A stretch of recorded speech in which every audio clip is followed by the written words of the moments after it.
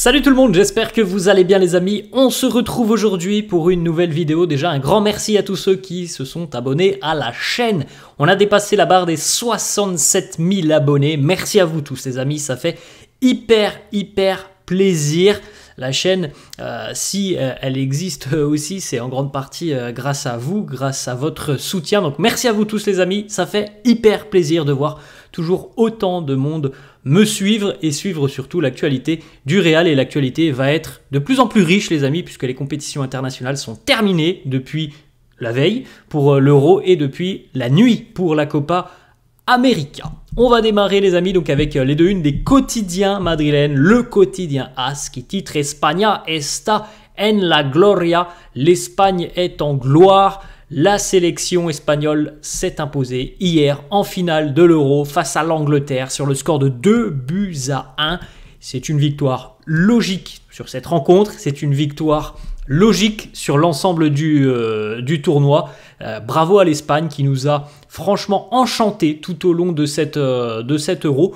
On les citait parmi les outsiders et ils ont véritablement était très impressionnant, je trouve, tout au long du, tournoi, avec un style de jeu euh, bah, très agréable à suivre. Donc vraiment, bravo à l'Espagne qui a été la meilleure nation. Il n'y a pas, pas d'autre chose à dire. Ça a été la meilleure nation du début de l'Euro jusqu'à la fin. C'est une victoire, euh, une victoire méritée pour euh, l'Aurora quatrième titre continental hein, pour l'Espagne, quatrième euro remporté par l'Espagne hier et tout de même, hein, les amis, le troisième en l'espace de, de 16 ans, 2008, 2012 et donc 2024.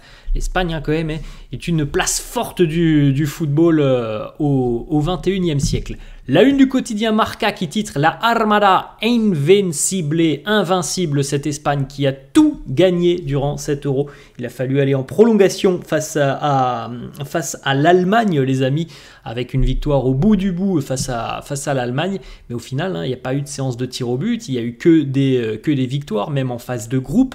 Et puis il y a eu surtout le, il faut féliciter l'Espagne pour un parcours quand même exceptionnel, hein, 7 matchs, 7 victoires, mais il y a eu aussi surtout des gros et de sérieux adversaires. L'Italie, la Croatie, l'Allemagne, l'équipe de France, l'Angleterre, tous ces matchs ont été remportés par l'Espagne. Pour la grande majorité d'ailleurs, pour ne pas dire tous, ont été dominés par la sélection espagnole. Hein.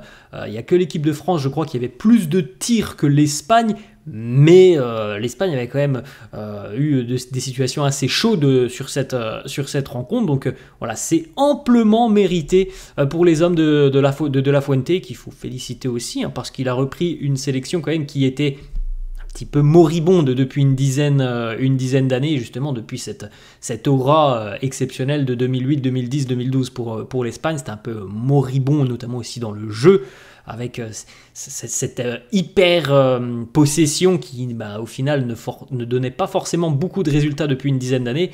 Là, on voit une équipe vraiment métamorphosée. Il faut saluer le travail de Luis de la Fuente. On poursuit les amis avec nos trois madrilènes qui sont donc champions d'Europe, deux anciens, et toujours Dani Carvaral, champion d'Europe. Félicitations à eux, Rossellou, Nacho et Dani Carvaral. Deux buts à un hier avec un, but inscrit en fin de rencontre pour la, sélection espagnole à la 88e minute, 87e je crois à peu près, euh, si mes souvenirs sont bons, et tout s'est déroulé en seconde mi-temps avec le premier but de, de Nico Williams en tout début de seconde mi-temps, l'égalisation de Palmer, et donc ce but qui intervient à la, à, à la 80, 87e. Euh, What a picture, sacrée photo. Regardez, Dani Carvaral, champion d'Europe après une saison exceptionnelle pour Dani Carvaral. Il a embrassé le trophée euh, hier. Évidemment, c'est bien, c'est bien normal. L'un des hommes clés de la saison du Real et l'un des hommes aussi très importants du très très beau parcours de la sélection espagnole. Petite stat sur Dani Carvaral en carrière, il a disputé 7 finales de trophées majeurs, il les a toutes remportées. 6 finales de Ligue des Champions remportées et donc euh, la finale de l'Euro hier qu'il a aussi gagné en étant donc le capitaine du Real. Félicitations à Dani Carvaral pour cette saison qui est exceptionnelle sur le plan personnel et sur le plan collectif aussi, hein, puisqu'il y a beaucoup, beaucoup de, de, trophées pour Dani Carvajal, la Super Coupe d'Espagne, la Liga, la Champions League et l'Euro. Ça, c'est un vrai bilan de quelqu'un qui peut ambitionner, euh, pourquoi pas le Ballon d'Or, même si vous connaissez ma position sur le sujet. Je pense, comme souvent, que le Ballon d'Or sera décerné à un profil offensif.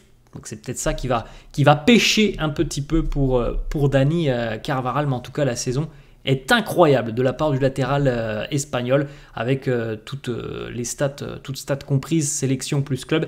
7 buts, 6 passes décisives et donc voilà tous les trophées qu'il a remportés. Le but en finale de Ligue des Champions, homme du match de la finale de la Ligue des Champions. Voilà, c'est quand même un bilan exceptionnel pour le latéral droit du Real. Tout ça en un mois et demi, les amis. Regardez, il y a un mois et demi, il a remporté la Ligue des Champions avec euh, le, Real en étant hyper décisif sur la finale. Hier, c'est l'Euro pour euh, Dani Carvajal, une saison mémorable pour, euh, lui.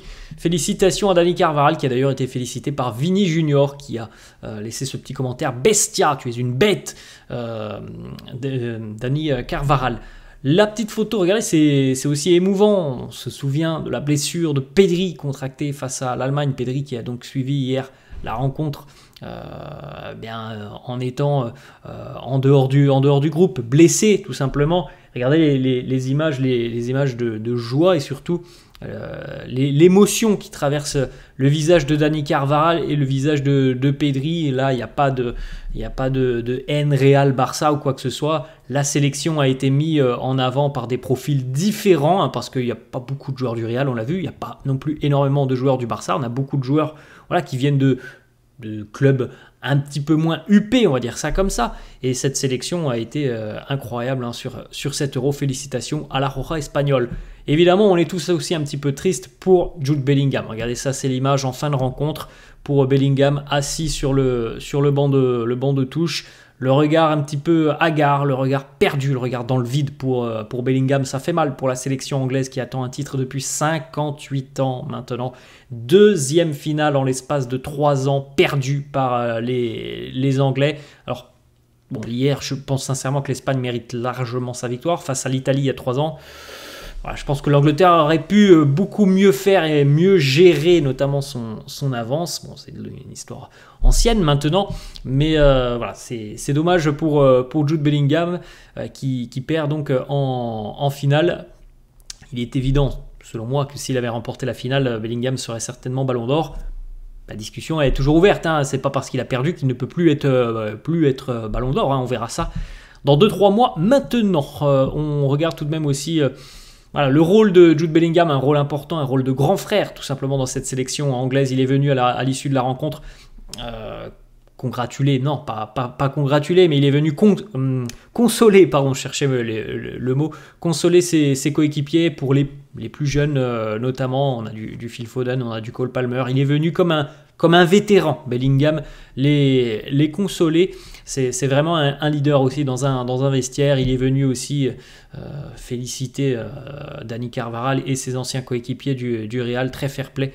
Euh, Jude de là que l'on voit notamment avec Danny Carvaral et la fille de Danny Carvaral. On a vu aussi bah, du côté de la sélection espagnole Rossellou qui est venu pendant les célébrations bah, venir un petit peu soutenir Jude, Bellingham, hein, les anciens coéquipiers Évidemment, il y avait de la peine d'un côté hier et de la joie de l'autre. Une déclaration de Jude Bellingham qui nous dit c'est un crève-cœur. On voulait véritablement écrire l'histoire de, notre, pays, rendre les Anglais, euh, euh, fiers. On va essayer d'aller de l'avant maintenant, analyser. On a un groupe qui est quand même relativement jeune et il est, évident que c'est décevant parce que je pense qu'on pouvait mieux faire sur certaines, euh, certaines choses, sur certaines situations. En tant qu'équipe, il y a évidemment du positif et du négatif. On va devoir trouver une manière euh, d'y arriver. Deuxième échec, comme on l'a dit les amis, en espace de trois ans pour la sélection anglaise en finale. On enchaîne les amis, on laisse de côté euh, l'euro. C'est une information importante, hein, on l'attendait déjà depuis quelques jours maintenant. Le Real est de retour aujourd'hui, c'est le début de la pré-saison du côté du centre d'entraînement de Valdebebas. On va retrouver donc évidemment au fur et à mesure plusieurs joueurs qui reviendront de, vacances, de sélection. Pas encore pour maintenant, hein, et encore quelques jours de vacances pour les, les, principaux internationaux. Mais en tout cas, le grand début, c'est aujourd'hui. Et voilà une première petite photo, les amis. Ça, c'était à l'entraînement, aux portes du centre d'entraînement aux alentours de 10h ce matin, où l'on retrouve bah, les joueurs qui étaient évidemment conviés à cette reprise, ceux qui n'ont pas forcément participé euh, à l'euro, ceux qui sont blessés, ceux qui ont quitté l'euro très prématurément, comme par exemple André euh, Lounine. Donc voilà, il y avait quand même quelques revenants. Donc euh, ce matin, David Alaba, Thibaut Courtois, André Lounine, Fran Garcia ou encore Jesus Valiero. Carlo, évidemment, l'entraîneur était de retour. C'est terminé les vacances pour Carlo.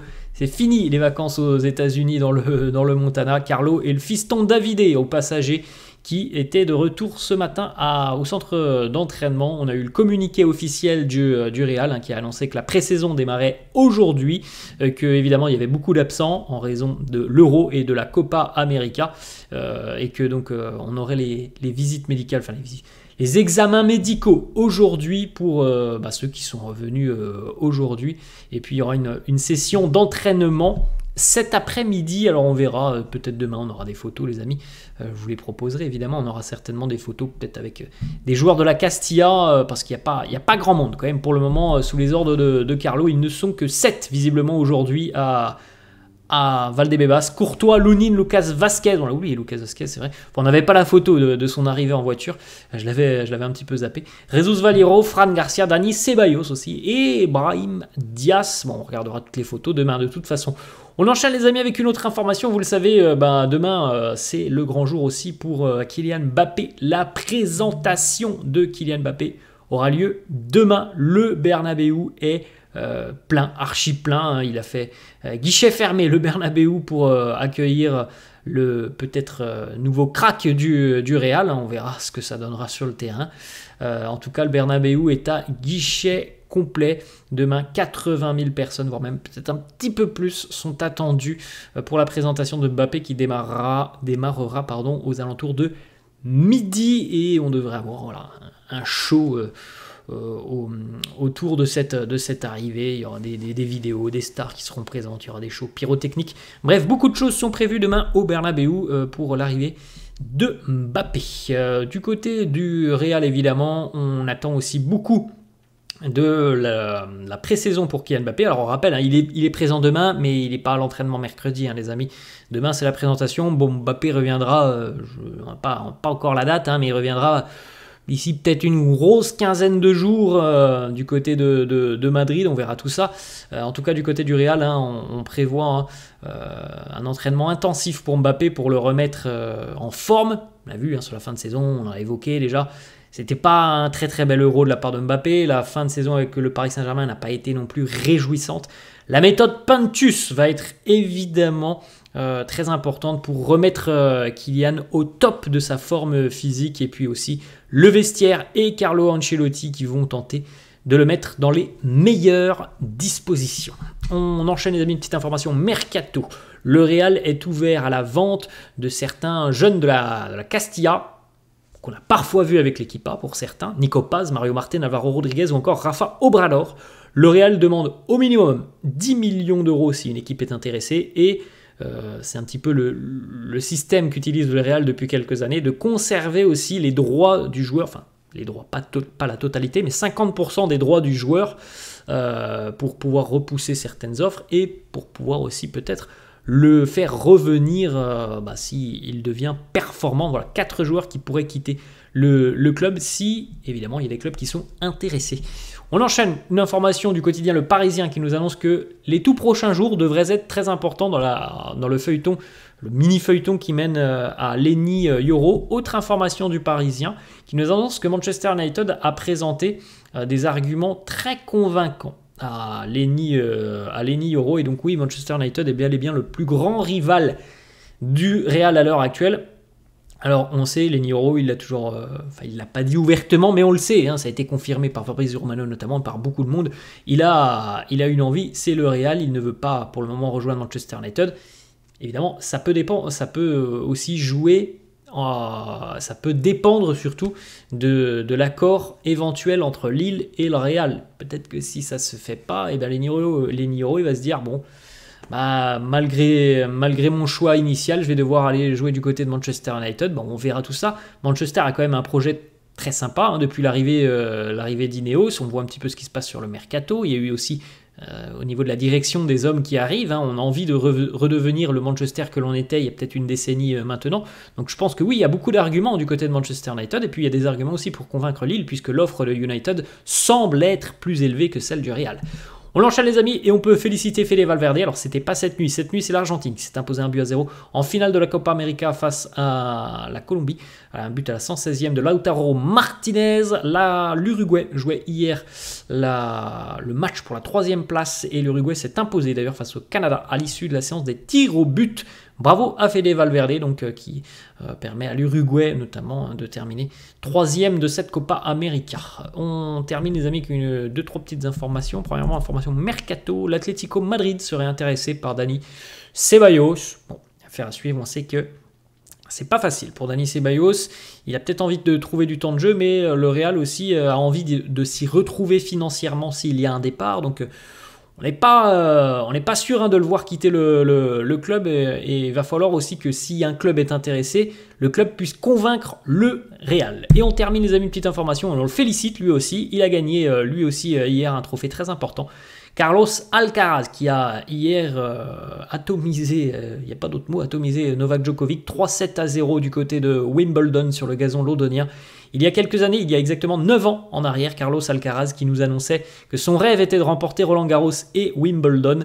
9 ans plus tard, à 21 ans, il a déjà remporté euh, Roland Garros et Wimbledon. Et le tout, là, par exemple, hein, sur cette année, euh, en l'espace d'un peine un, mois, il a remporté euh, et le trophée, l'international, le trophée international parisien, français, et le trophée international londonien, l'Open londonien. bravo à Carlos Alcaraz, je crois que c'est son quatrième grand chelem. Voilà les amis, la fin de cette vidéo. J'espère que ça vous a plu. N'hésitez pas, comme d'hab, à lâcher un petit pouce bleu. N'hésitez pas non plus à vous abonner à la chaîne. Je vous laisse et je vous dis à la prochaine. Je vous une très bonne journée. Ciao